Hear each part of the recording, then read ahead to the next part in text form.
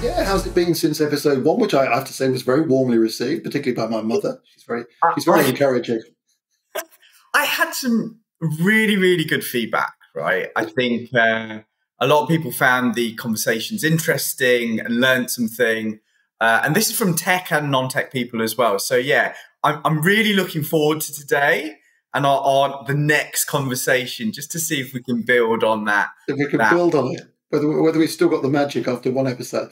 Well, well, well listen. I, I, to, to, the, to those of you that are watching this on YouTube, um, Sanjay's having a bit of a lighting effect with his the natural lighting coming in through. It's a bit of a halo effect for you, Sanjay, which is you know, not before time. Frankly. Yeah, exactly. Um, yeah, uh, yeah. Here's, here's something for you. I spotted on Sifted, which is a, a, a kind of online tech publication. I, I, think it's Europe Focus, but I may be wrong. It may, it may, be available. I'm sure it's available elsewhere, but I think it's Europe Focus. But anyway, they had a headline this week that said, "Are e-scooters stuck at the traffic lights?" And it, and it, it made me think of a, of a massive tech fail that I had, which you might find quite amusing recently. So, so Madrid Madrid has gone all in on electric uh, self transportation. So we've got electric cars, electric bicycles, we've got the e scooters, and we've got my preferred choice, uh, which is the moped. Now, there are tons of brands. I think, I don't know, there must be four, five, six of them. And, and as with everything, you end up with your favorite, right? So I got into a real rhythm of using, it was GoTo was the brand, or is the brand. And a very, very smooth process. I mean, I was fell in love with it, frankly. So you you have your app, you you book you book your scooter. You've got 15 minutes to get on the scooter. You you get there as soon as I spot it in the distance. I start to unlock the boot. So obviously, yeah. not wanting to waste any time, so that I get to the boot of the, the scooter. It's already open for me. I get the helmet out. I put the phone in. I close the boot. Off I go. And I've spent two glorious years in Madrid with this very seamless process.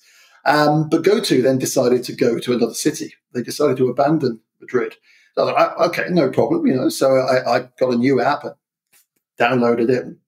In my office in Madrid, I thought, oh, I'm going to go and get a quick Starbucks, you know, classic kind of first world challenges I'm facing here. So you know, I walked out of my office, same process with the app, 15 minutes, saw him in the distance, unlocked it, got my helmet out, put my phone in, closed the boot, off I went. Problem. With this particular app, you have to have your phone out of the boot because that's the only way you can open it. So I now found myself with Scooter, but with phone inside Scooter and locked mm. inside Scooter, right? And, and again, it exposes that ridiculous uh, fact that, that, you know, without your phone, you're kind of completely lost because I couldn't, I couldn't call anybody to help. I was now outside my office. I couldn't get hold of, of, of, of Maya, my wife, to, to say, can you ring these guys up and say I'm stuck? it was an absolute fiasco. And it took me an hour and a half to eventually unravel this by, by going back to the office, getting my computer, coming to my computer, getting the Wi Fi from my phone that was inside the computer. Oh, gosh. So, you know, the, the headline. Did you manage to get your coffee, or were you going to pay using your phone as well, so you didn't get your coffee? Either? Coffee, coffee was abandoned. Starbucks lost another four euros of my well-earned money. Uh, you know, I mean, it's a great example of tech. For, you know, when technology fails you, and you're so reliant on it, and so kind of just you don't even think it's not going to work, then suddenly you're yeah. kind of completely discombobulated. I mean, yeah. how are you? How are you with your? You got you, so, you're on a big. So transportation is really interesting, right? So um, I've got my tech anxiety. So big tech user. I'd like to say I'm, you know, ahead of the curve with most things. So naturally got a, an electric vehicle. Um, had one for best part of a year. Um, but we're doing as a family our first road trip. So we're I live in the Midlands in the UK, and we're driving up to Scotland to see one of my closest friends. So it's a 300 mile trip one way, and I've got this anxiety of, you know, the route, charging. You know, where are we going to stop? Am I going to make it if I get stuck in traffic or it gets cold? That drains the battery some more. So I, have I've not. I'm hoping I'm not going to have a tech failure, um, but I have um, Google Maps. I've downloaded the the maps for each of the parts of the routes. I've used ZapMap to to find all my the charges en route. Um, so I'm I'm using a lot of tech for what normally I would have just kind of jumped in the car, filled up, uh, filled up the tank with some diesel or something, and gone and and it's really interesting how I'm having to use a lot of tech. And you know, the, the really interesting thing that you said was, you know, you know, it was your phone that kind of let you down because you put it in the boot. And I'm I've got the same anxiety. Everything is on my phone. So it's I, can see it next to me. It's not leaving my side through, through for this journey. But yeah, yeah. It's, it's, it's, it's, funny as well. Your phrase "tech anxiety," isn't it? it, it, it you know, it's everything is so seamless and so tech enabled these days. But the anxiety of if it doesn't work, you know, it's a bit like charging the phone. It's a very basic and obvious thing, isn't it? But yeah, yeah. no. The, so tech fails. What we have had, I think, should be our intro to uh, to each of these episodes. So we'd, have We'd have a lot. Be interested to see how you get on at the next uh, episode. Yeah. So uh, ahead of us, we've got uh, we've got the fireside chat. We've got a wonderful guest, Julian Costley, who's going to join us uh, shortly. Sanjay, with you. Uh, but first, uh, the world's first tech leaders quiz. You really, really need to get out more. All right, welcome. And to those unfamiliar with this section of the podcast, we we all spend far too long at our desks, behind our monitors, with our keyboards, etc so CTO Academy are here to encourage people to get out more with $50, 50 US dollars. I know that's not necessarily relevant to our European quiz guests here, but you know, uh, the exchange rate isn't too bad at the moment, particularly in the UK. So we give 50 $50 to the winner of our quiz uh, for them to go out, to get out more to a nominated restaurant of their choice. Steve Van Niekerk down in Johannesburg won episode one, and he has been dining out at Luthio's Pizzeria in Johannesburg. And the last episode was the CTO head to head. This episode, it's a heads of engineering head to head, if that makes sense. Welcome, Bianca Glasner and Morgan Davies. Thank you for joining us. Thank you very much for having us. Fantastic. Well, we love our volunteers in these early episodes. So uh, we'd love to know a little bit more about uh, what you're doing, the company that you're working with, and maybe any achievements, challenges. Bianca, tell us a bit more about yourself. Sure.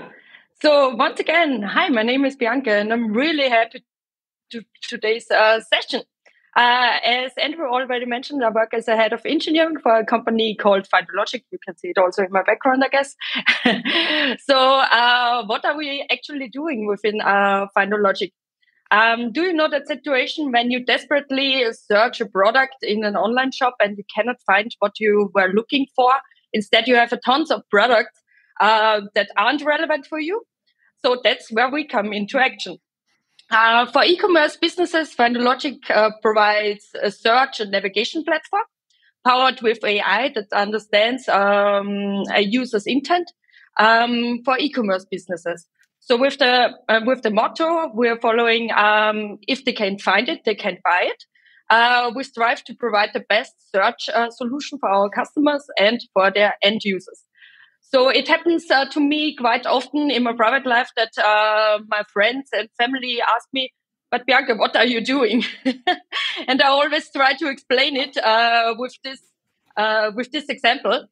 And also my my role for some not tech oriented uh, people, it's not that easy to understand. But in my current role as a head of uh, engineering, I operationally manage the engineering team uh, or the engineering department uh, to develop our great uh, products together in our team. So um, I'm basically responsible for the timely and qualitative uh, implementation of our OKRs, um, the maintenance of the products, and the operation of our architecture. Within our engineering team, I have uh, the honor to lead 20 amazing software engineers uh, DevOps engineers and web developers and data scientists. And I also have the uh, role as a product owner, where it is my task um, to increase the value of our product. So, what are actually some challenges uh, we have at the moment? Um, so, the company uh, which I'm working for, FindoLogic, um, has recently joined forces with another company. So at the moment, my main challenge or main challenges are the migration um, of our engineering team and our tech um, in order to develop a tech and product strategy where we can succeed together. So as uh, you can imagine, it's not a thing that can be done in one day. so um, yeah, I have to um, deal with these new scenarios. I'm really uh, looking forward to it. I'm super hyped, yeah. but first of all, we have to uh, manage our team, their team, our product, and their product. Besides this, um, yeah. I got a quick quick sure. question. So with that yeah. migration, what's uh, what what would be really interesting to know is is do you think the challenge is going to be a technical challenge or actually a challenge of personalities as the two teams merge? So you know because you know as techies we're quite precious of what we've built, right? It's like our baby. Um, so wh- where where do you see that challenge coming? So personally, I do not see any challenge when it uh, comes to the culture. So we are uh, the culture from our company and their company is uh, the state uh, is like the same. We are open, um, open company culture where everyone uh, can con- uh, contribute uh, to the success of the companies, and everyone is welcome. So we felt quite welcome from day zero. Uh, so they handled us uh, already like family members. so that's really cool. Uh, but when it comes to the product, um, there are some opportunities, uh, but also some uh, weaknesses, let's say. So, for example, we step in, they have another core product, let's say, uh, which we were missing um, in the past. So, we wanted to develop that as a next step. And they are already in a super stage there but what they are missing is our product, so the search product within their platform.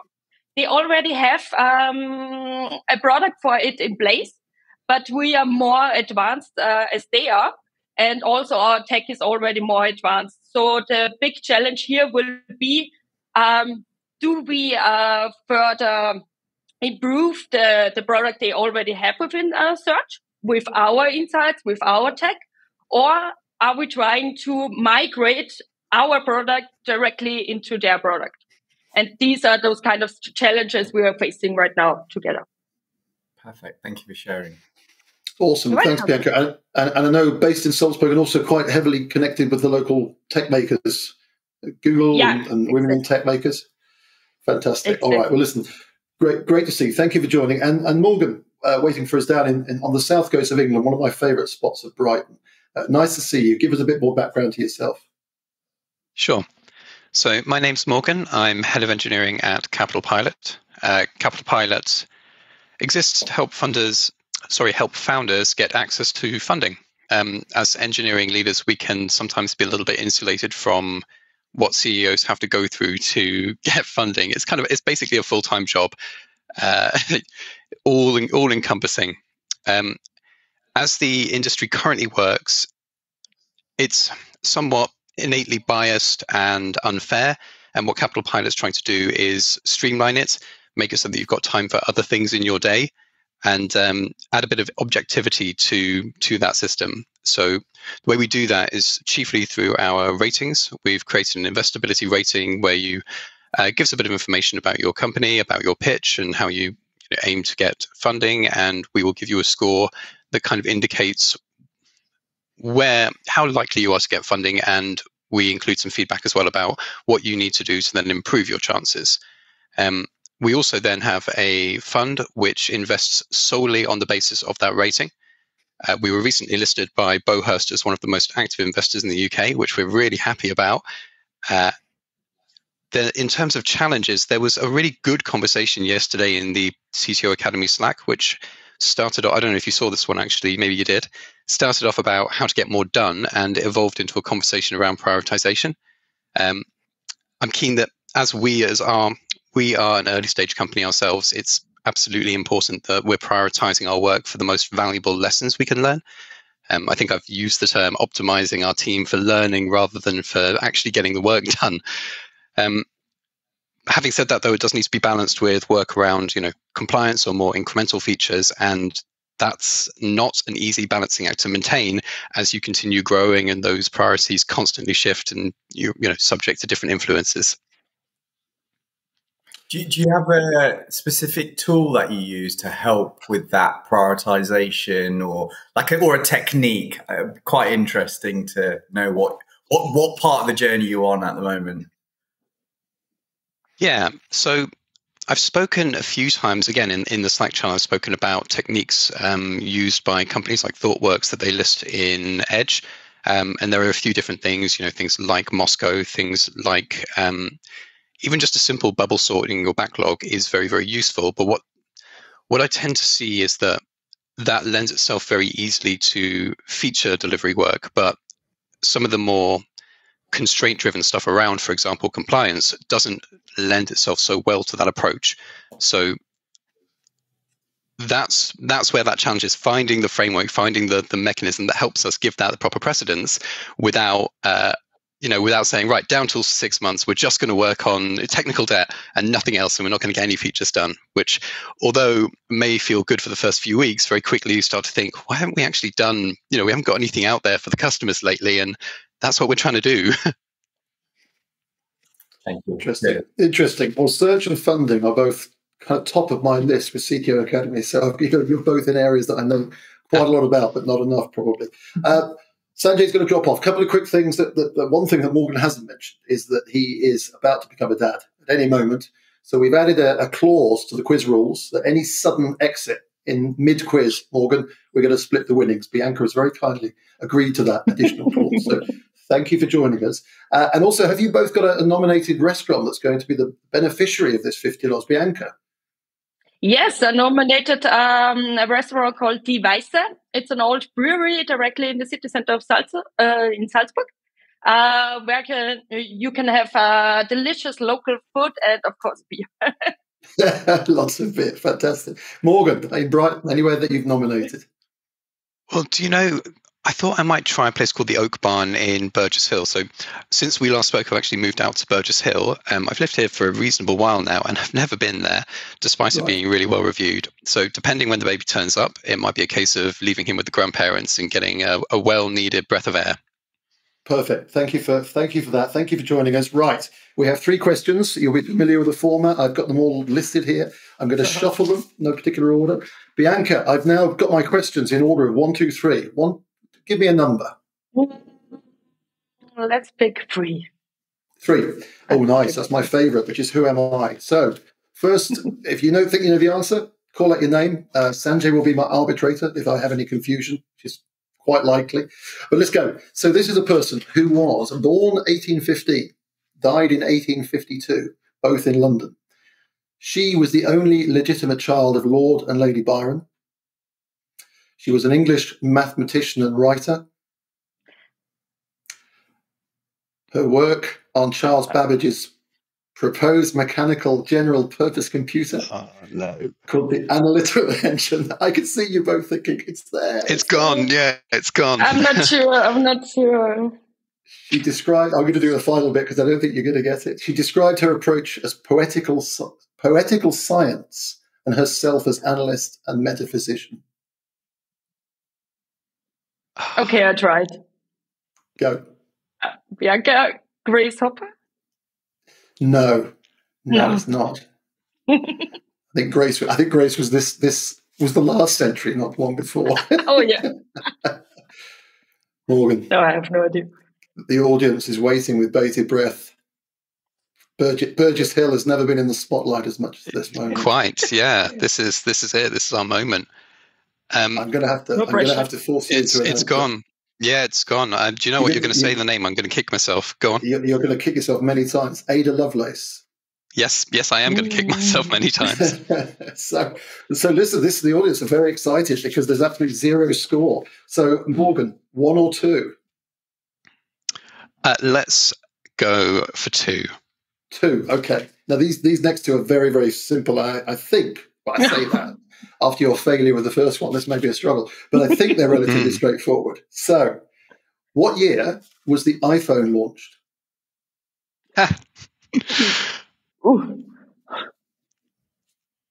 I should know San- that. Sanjay, Sanjay we're of another generation, aren't we? we? We know the answer to this. Yeah, I'm hoping you go first so you can rule one year out. then I can have all the other years to pick from. I'm going to have to. I'm going to have to grab a, an answer from one or both of you. Just go for it. It's. And let me give I you a clue. It's, it's more. It's more than 15 years. What's more than 15 years? Oh, it's more than 15 years ago. Launched. Okay. Bianca, I tried. Um, 2011. No. I I think it was earlier than that. I think it was. I'm going to go for two 2001. Oh, my, my accountant, my, my accountant is going to be so pleased that we don't have to spend this fifty dollars. Two thousand and seven. Two thousand and Oh, I was the answer. 2007. No. I was worried about that because I thought you two have probably never lived without an iPhone. Do you or- know? or No, no, no. I, I was, I was Windows Phone up to the end. Oh, right. Yeah. Fantastic. All right. I am I am troubled. Now listen, if we end up with no score, I, I, I'm going to split the winning. So you might you might just want to sit on the fence on this one, but this is the final one. Okay. What is the name of the current CEO of Alphabet? I don't know. Me neither. Bianca? I can, I can picture door. the fella, but I can't, I can't uh, name All him. right. Well, No. I can tell you that there is an old brewery in Salzburg and the old barn in Burgess Hill who are both going to both going to benefit from the splitting of this. But it's Sundar Sundar Pichai. I hope I pronounced his surname correctly. Yeah, But but I do is- not know how to pronounce it. No, well, listen, listen. That was a fantastic failure, and and the, re- the the day can only get better for both of you. But thank you both for joining us. So there we are. Well, uh, I mean, Sanjay, it wasn't the most successful quiz, but it was fun. Well, you've got to learn from your failures. So I thought it was fantastic, right? Well, thank you, Bianca and Morgan, wonderful stars and great members of our community. And now another friend of CTO Academy, a serial entrepreneur, CEO at enterprise level, at startup level. I've lost count of how many boards he's on. I think it's 26 was the last count. Mentor at London Business School, but also, also a very popular lecturer on our executive leadership course here at CTO Academy, not just for the lectures themselves, but he was also voted as having the best introductory sent- sentence to a lecture. Sanjay, can I tell you what it was? Come on, then, let's hear it. And and I quote from, from Julian's uh, lecture on uh, how to be effective at uh, executive level. Of all the jobs I've done over the years, only one was understood by my mother. Julian Costley, which one? Uh, well, it was the um, it was the job that I had when I was bureau chief and country manager for Reuters, and uh, I was posted to Israel, responsible for Israel, West Bank, and Gaza, and it was the time of the Intifada. But I, I, it, she looked as if she understood for the first time, with all the complicated jobs I'd done before, that she understood that. And then I heard from my sister that she told a neighbour that I had something to do with news and getting shot at. Lovely. Wonderful. Well, it's a lovely, it's a, it's a great lecture, wonderful opening line, and thank you for joining us uh, for what I think is going to be a particularly fascinating fireside chat with Sanjay. I will leave you both to it. Julian, thanks for joining. Hope you enjoy the fire. Hope you enjoy the chat. So, Julian, you are a seasoned CEO, seasoned chairman. Uh, you've been on many, many boards, and I'm really excited about this conversation. So, I think the um, axis between a CEO and a CTO is becoming more and more important as Yeah. more new businesses are technology focused. So I think this conversation is really interesting, especially for myself. Um, so I'm going to jump into the, the the question. So my first one really is around um, the good, the bad, and the ugly in terms of how you know your relationships with the CTOs that you've had over your career. Yeah. Okay. Well, I mean, it's easy to think of the good one because that almost certainly came as a result of um, starting up the um, uh, uh, stockbroking company eTrade UK. And the reason it was good is that we had so much money. we, we, uh, our startup capital was absolutely massive, and uh, you can hire some very good people. You know, when, when when you don't have to compromise. You know, when financial services is peculiarly expensive uh, UK is, London is, you know, everything. Although we set it up in Cambridge, it was it was the center of gravity of of technology, as you know. So um, uh, a lot of competition for really good people, but have some really good people. And I suppose the reason that it worked well, you know, why why I would call that one a good one is that um, when you've got really competent people, uh, you can get on with your own job as the chief executive. You know, they they the guy that we had there was um, an absolute grown up. You know, arrived from a senior position in another company and and went okay. There's probably probably more bads and uglies, Sanjay. You know, than than um, than the goods. I have to say, but that's usually because you know some some you know fatal flaw that you you know you don't know when you hire somebody sort of emerges. So probably the um, the bad one I think was when we were setting up um, uh, France Telecom uh, satellite company Globecast, uh, and I was the founding uh, chief executive and setting it up. It was originally a joint venture with Maxwell Communications, and um, uh, we didn't have an office. it was literally uh, a, a, broadcast license and a lot of money in the bank. Literally, I was first employee. So I remember that we um, there was a pub in Fetter Lane, and um, that's when I did all my interviews. So the guy that I hired, um, it probably wasn't a good idea. It was over a lot of drinking in the pub. Uh, I probably made the decision too quickly and, and took him on board. And, and why was it bad? Uh, because uh, we outgrew him. You know, we had to go from nothing to right. you know satellite farms and whatever and it was just simply that despite you know really looking after him and nurturing him and whatever you know he ran out of steam so that was the bad um, i've definitely got an ugly uh, and that was when when um, uh, I took over as in, interim chief executive of a Dutch consulting company. A couple of guys yeah. came out of McKinsey's, they, they set it up. And um, we were at Ealing Studios in the UK, if, if anybody knows that and um, fantastic location to run a company. But I came in, we had 24 staff, and pretty quickly with a group CEO, I realized we needed to get rid of 16 of them. Wow. So um, on the list was the CTO because he was a sort of bolshy, difficult character, and I had to had to let him go anyway. So I hired a little room about 100 meters from uh, our main offices, and I interviewed every member of staff and told them, you know, w- which ones were going to be uh, staying, wh- whatever. But we knew the CTO, you know, talk about ugly uh, problem. Uh, we knew the CTO was going to be a problem. So we, the deputy CTO, uh, and I arranged that in the 20 minutes that I had him, at, you know, uh, for the interview, and I had a call to say, no, we're not ready yet. We cancelled and changed all the passwords, all the mm. locks, absolutely everything, so that um, by the time he got back to the office, I told him, you know, he hadn't got the job.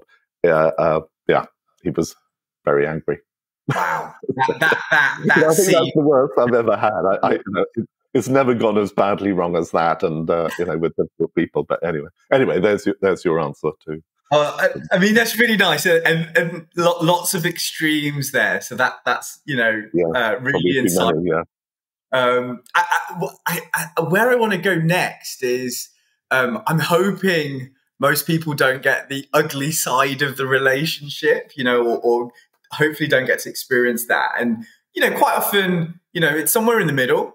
Um, you know, the relationship between the CEO and the CTO, and I, I guess you know one of the reasons why it's you know in, in, my head one of the reasons why it's somewhere in the middle in terms of that relationship is the personalities are very different because you know where your functional focus is very very different your backgrounds your experiences your drives and motivations actually within the within the organization are very very different and and i think that drives that you know i'm going to call it friction um yeah, i guess yeah. how you know, how do you build that relationship? You know, because again, you know, it does sound like that that relationship is in, important. You know, you especially when you spoke about the good. You know, you could trust the CTO; they got on with it, allowed you to focus. And the ugly, you knew you had to let them go because they weren't executing where where you needed them to. So, how do you, you know, from, as, from a CEO perspective? Um, you know, you know, how do you how do you build that relationship? What's what's the how do you exercise that muscle? I guess you know what what do you need to go through? Yeah. Um, well, I mean, it, there's a lot of expressions, and I, I, guess you know, there's there's nothing sort of new under the sun, as it were. The the the, the key word is probably honesty. You know, is um, it, it, building a relationship with someone has got to be totally based on on trust, obviously. So if you're starting a new relationship with somebody, um, rather than the person having, you know, be, been a manager or a software developer or whatever it might be, and they, they've mm-hmm. moved up, you promoted them into the position, and you want them to start thinking a little bit differently about it. Um, that's a different setup than you hire somebody, they come in, you don't know each other, all you pretty much got is the you know what you've learned from the interview and and from their CV. And I, I, am you know, the mechanics of it really are um, starting with setting out uh, your own objectives. I'm talking from a CEO's position now. You know, yeah. what what what are you trying to achieve in business terms?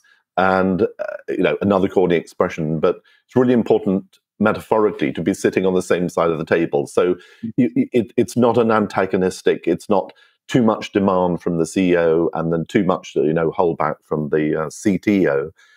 Um, it really helps if you set up what you're trying to do commercially but the honesty bit comes in um, on both sides, actually. But from a CTO, what I would look for with a CTO is uh, all the stuff that you know, Sanjay, you and I know about that everybody does in a company, which is a bit of sandbagging. So you can, yeah. you know, you can sandbag on budgets. Oh, we're going to need another developer, or, you know, for next year or whatever it be, and you can sandbag on timescales. So you know, if you've if you've got sort of n hours of, of dev time, you know, to achieve an objective, uh, yeah. of course, you always end up with somebody saying, "Oh no, we're going to need you know five more hours for that," and and the slippage or the delivery time is sort of uh, slipped on it, or you need more resources, or, or, or, you know whatever it might be. So getting getting to that point where you you're really honest with each other, but but it, it, it, it works the other way. I think it's perfectly reasonable for the CTO to delve a little bit, you know, maybe challenge the CEO and say,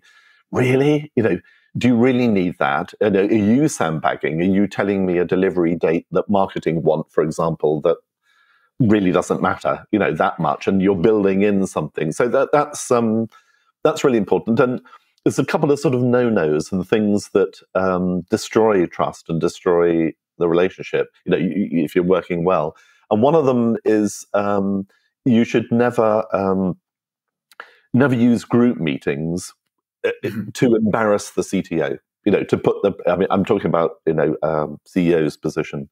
Ne- never um, build a conflict, and you think, well, I, am going to put pressure in the group meeting. You know, sort of whether it's the board, if they're on the board, if the CTO is yeah. on the board, but even in weekly management meetings, you know, don't don't hold back a nasty. You know, to to do that. But equally, it works the other way. You know that. Um, uh, you know, the CTO it just happens, unfortunately, but it, it's not good for the relationship. Is where somebody would, um, the CTO would use that sort of meeting to put pressure. You know, like, um, well, I think, I think, you know, we all think this, don't we? You know, invoking the power of the rest of the executive team, you know, to get their own way. But um, I think I've used the expression already uh, in this conversation. I think it's about um, metaphorically being around the same side of the table. Yes. You know, sort of um, and enthusiasm, enthusing the um, the CTO towards the objective and making them partially own outside their box or, or vertical, you know, of of you know technology and and uh, uh, technology strategy of of feeling that they partially own um, the outcome that the CEO is driving. You know, so if if you if you feel that you're working towards something, you're less likely to uh, disown it or, or blame other people or, or, whatever it would be. So, so uh, probably all of that. But I, I would say honesty is the core. Building I, a, a I really like love it. And, and, and actually, your point about being we are on the same side of the table, I think it really rings a bell for me. So, one of my practices, and, and you mentioned the, you know, you, you don't want a CTO coming to the exec table and the weekly meeting and announcing something that no one's ever heard of. And, you know, one of my practices is, you know, on a regular basis, when I have my one to one catch up with a, with a CEO, I've always kind of informed them first and I've given them a heads up. I've kind of said, hey, we've got this on the horizon or we've got this disaster. I'm going to bring it up in the exec session, but, you know, please be aware.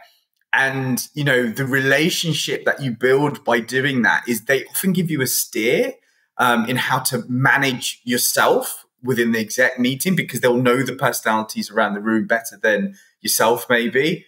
Um, and it does drive a better conversation in, in an exec yeah, session. Yeah, Completely agree with you. I think that's you know really really insightful. Hmm. Um, so so interestingly takes us on to um, if we if we're honest with each other. So if I'm the CTO and you're the CEO, Um, do we need to be friends? Do I, as a CTO, do I need to go and have a drink with you, or am I okay um, doing what I want? You know, playing my games, or you know, socializing however I want. You know, what what what's what's your opinion of that? Um, I, I, I think, uh, with no dis- disrespect to our audience, but sometimes, um, well, if I take two two contrasting positions in an executive management team, let's say uh, uh, uh the uh, the marketing director or the sales director and the CTO, um, there is a tendency. How can I put it diplomatically? Um, to be sort of quite insular if, if you're yeah. totally focused on on technology you may be less uh, gregarious. You know, you you may be uh, uh, possibly less sociable. Uh, I mean, that's less and less the case. Obviously, when somebody becomes more senior, they they grow. You know, in in, yeah. in their ability to to communicate. But I think. Um, I, I, don't think there's a formula. I mean, I, I do love formula. I love lists, a sort of check checklists of things that you should do with people. But I, I I have uh, liked and I have, you know, sort of uh, taken people for a beer, but but I think it's probably um, politics management more than anything. Yeah, I don't think you need to be a friend, but I do think you need to understand, but particularly very much nowadays, where a proportion. One of the companies I'm on the board of currently, the CTO only comes in once a week, um, yeah. and you think, how on earth does he manage a team? And um, well, we set it up and it really works very well, but you, there isn't the same interaction with somebody where where you don't have sort of personal contact with them. So sometimes uh, going for a drink is important because it, it, although it's none of your business what's going on in their private life, knowing the influences that are uh, driving them or, or, weighing down on them, you know, out, outside the office is probably quite important. You know, and, and nobody's going to walk into your office, you know, you know, despite open door policy, and actually say, "I think you should know." You know, my daughter's having trouble with her children or whatever, and I'm having to do a lot of babysitting or you know, whatever it might be. I don't know, uh, and um, uh, because of that, I think it's it's good to spend a bit of time on it, but. Um, really, you know, anything that um, fosters a good uh, communication, you know, sort of open yeah. communication. You, would want somebody to feel that they could say anything to you, don't you? I mean, you know, yeah. they've got to be able to not hold anything back. But um, I suppose the you know just just leading on from that is you don't need to be friends. You do need to have a trusting relationship, and you don't want them to be frightened of you. You know, you, yeah. you, you, you, you, if you've hired somebody, they tend to spend the whole of the period in which they're working in a, in a, in a hierarchical idea. This is the person who gave me the job. This is the person who can decide if I stay. And you do what you know. You do have to have that authority, but you do want to level it up to a certain extent. Yeah. And I, I think if there's a singular thing that can go wrong that a good relationship will rectify is um, surprises. Yes. It's the worst thing, you know, of as a CEO is to uh, feel well for two things really. One is surprises, which is obviously not telling you about something because they think they can fix it before you even get to hear about it, um, which yeah. is really bad news. And the other one is um, upward delegation. Mm-hmm. You know, I mean, when you hire, what you want of a senior person is that they um, uh, they feel that they can manage stuff. They're a grown up. They're doing what they need to do, and they're, they're not passing problems up to you. You know, they yes. they are they they're bringing making aware of of a of a problem that might grow, might be difficult, but they tend to come with um, a solution. So it's yes. a good relationship. You know, you're not dealing with oh god X is coming through my door again. You know, yeah. I know what this is going to be. They can't solve a problem, and it's going to be mission critical. Um, you you you look positively on the person because yeah. you're thinking that they're coming with a solution. So I'm probably over-explained it, but you know what I mean. Know, I guess what I'm hearing. So the kind of the real takeaway for me is, um, no, you don't need to be friends, but you need a relationship. Yeah. Um, so it being just transactional is not good enough if if if you want to excel and grow, you know, as an organization, as a as a management team. So there needs to be a relationship more than just a transactional relationship. So um, I, I, think that's really interesting. Yeah, and, yeah. and no, no, that's well know, said. Exactly. Yeah. You know, if friendship builds, it builds, and if it doesn't, it doesn't matter. But a relationship is important. So yeah, good. Thank you. Um, so I, am going to ask you one last question, uh, Julian. So right. um, you have so much experience, right, working with CTOs. It sounds like you've you've worked with many, many. And one of the things I'm going to uh, try to get out of you is what's the one bit of career advice that you would give to our, you know, the, the audience listening yeah. um, to kind of help with their career in tech, their career to be a CTO or a great CTO? So, what's the one one critical bit of advice? Um, well, the, the, the word uh, being a grown up, uh, you know, comes to mind. But uh, but I think um, it, it, from my observation of people, as they as the organization is growing, then every senior executive, including the CTO, obviously needs to grow with it. And um, you know, my advice is you can't be running stand-ups anymore. you know, all the things that in your comfort zone uh, that were to do with um, you know uh, the technology and whatever it, you you still got to be in control, but you've got to move on because you're now as a CTO or growing into a CTO, you're now responsible for you know you can imagine the Venn diagram. You know you're not just there on your own; you overlap on all the other operational factors in a company, including the strategy and, and where you're going. So, a simple thing is probably recognizing yourself. Uh, if I was the CEO and I was looking back at me, do I really need to be doing these things? You know, are there a lot of things I should be delegating, and should I be moving on up and um, concentrating on the things that uh, a top uh, CTO does? Sorry, it's a very long answer, Sanjay. No, no, it was great. I, I, mean, there was there was lots of wisdom there. Art of delegation, okay. well, growing okay. up, growing and learning. I like it. Uh, we didn't we didn't get one. We got three or four. So, Julian, okay. thanks thank you so much uh, for your time. Really, really appreciate You're it. Welcome. Lovely to chat with you, like always, um, and hopefully speak soon. Very good. Thank you. Hi, Sanjay. Well, I mean, Julian never fails to deliver, as far as I'm concerned. Uh, really interesting in conversation. Yeah, re- really fascinating. And, and as I mentioned in the introduction to Julian, he's he does a number of lectures in our exec leadership course, and all of them are absolutely fantastic and, and, and very, very popular. So wonderful. Listen, we're going to wrap up with a couple of things. The first one, of course, is our in- incredibly popular around the tech world in 80 seconds. We're going to be joined by uh, Freddy Rincones from Medellin. Have you been to Medellin, Sanjay?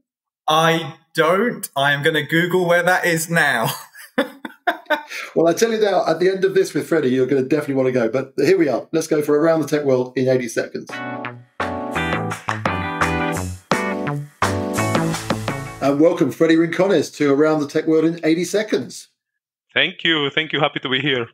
Great to see you. Right, we're going to uh, turn the spotlight on Medellin. So, Phil, start the clock. Freddy, tell us about you. I'm Freddy Rincones.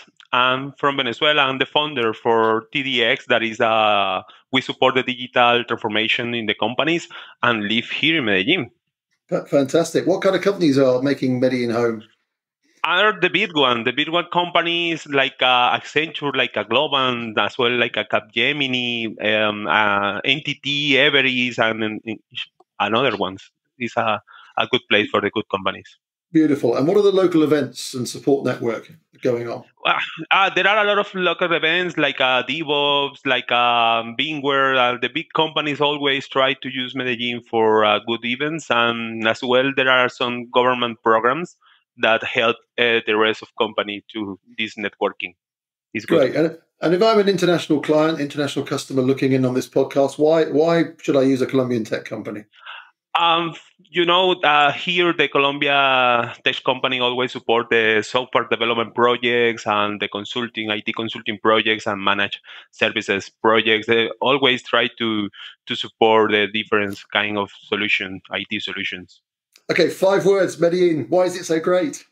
Innovation, technology, as well, gastronomic, nature, and people. I think there are all those five questions.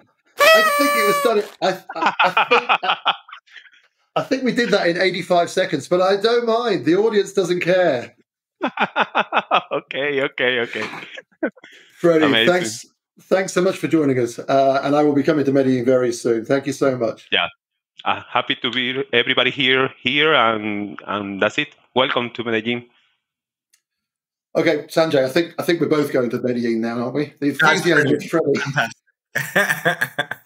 Wonderful. Well, listen, thank you everybody for watching uh, episode two. We hope you've enjoyed it. Um, I'm going to finish, actually. I, I haven't warned Sanjay about this, but very briefly, the, the whole concept of me, my CTO, and I uh, emerged. We've been talking about a podcast, haven't we, for a while, but the actual idea and the format emerged when I was traveling on a train from Madrid to Malaga, and I, and I, it was just me and a, and a rapidly um, emptying bottle of Rioja, um, Yeah. which meant which meant that I kind of threw uh, some of the ideas were very surreal, and Sanjay knocked most of them out of the park. Um, but I did suggest doing the occasional limerick at Sanjay, so I'm going to leave you. I'm going to leave you with my first limerick and, and see and see how well received or not uh, this is. But thank you all very much for watching, uh, and I'd like to leave you uh, with this: a CTO was dreaming in Nantucket of pushing her CEO into the nearest bit bucket. You must stop interfering as the launch date is nearing, or the team will resign and say "fuck it." You got a tech reference in. Amazing. Me, My CTO and I was a CTO Academy production, with special thanks to Sanjay Mistry, Julian Costley, Bianca Glasner, Morgan Davies, Freddy Rincones, and you, our audience. Until next time, gracias y hasta luego.